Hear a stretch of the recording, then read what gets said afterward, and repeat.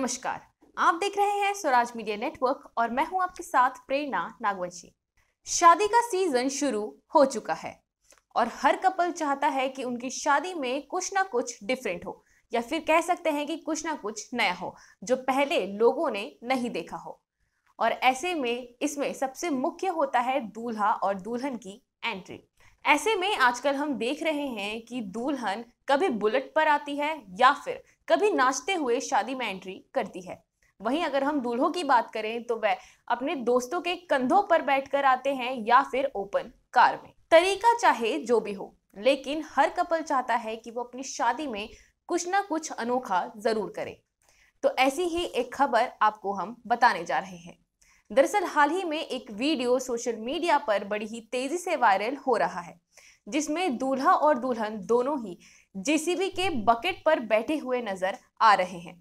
लेकिन खास बात कुछ और ही है। इन दूल्हा दुल्हन की एंट्री देखकर आसपास के लोग काफ़ी ज़्यादा हैरान हो गए थे, क्योंकि इन लोगों ने कपल्स की एंट्री तो ज़रूर देखी थी, लेकिन जिस अनोखे अंदाज में इस कपल ने एंट्री मारी थी, वह वाकई में चौंका देने वाला था। जैसे ही इस कपल ने एंट्री मारी तो लोगों ने तालियों से इनका स्वागत किया। जैसे ही इस कपल ने एंट्री मारी तो लोग इन्हें देखकर बेहद ज़्यादा उत्साहित हो गए। साथ ही लोगों ने तालियों से इनका स्वागत भी किया।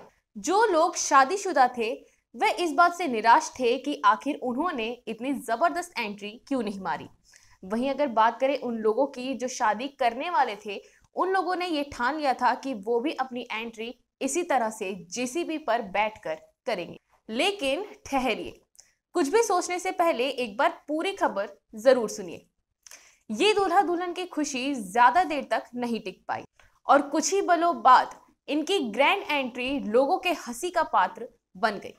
तो चलिए आपको दिखाते हैं पूरा मामला।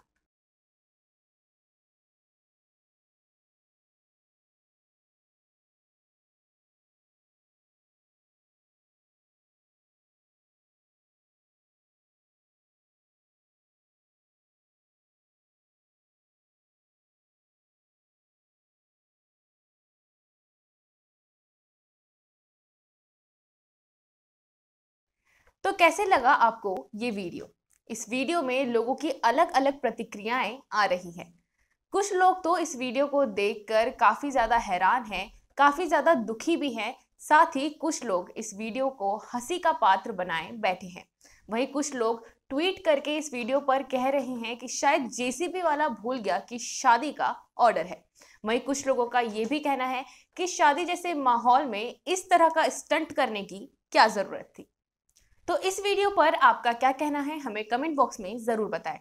साथ ही अगर आप हमारे चैनल में नए हैं तो चैनल को सब्सक्राइब करें, साथ ही इस वीडियो को ज़्यादा से ज़्यादा शेयर करें और लाइक करना ना भूलें।